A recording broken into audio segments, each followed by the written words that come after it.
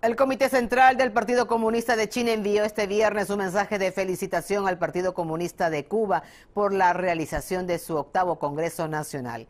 En su mensaje describe al Partido Comunista de Cuba como el liderazgo central de la Revolución Socialista Cubana. El Partido Comunista de China señala además que, en su opinión, con el fuerte liderazgo del Partido Comunista de Cuba, este Congreso proporcionará una importante orientación e impulso a la causa socialista con peculiaridades cubanas.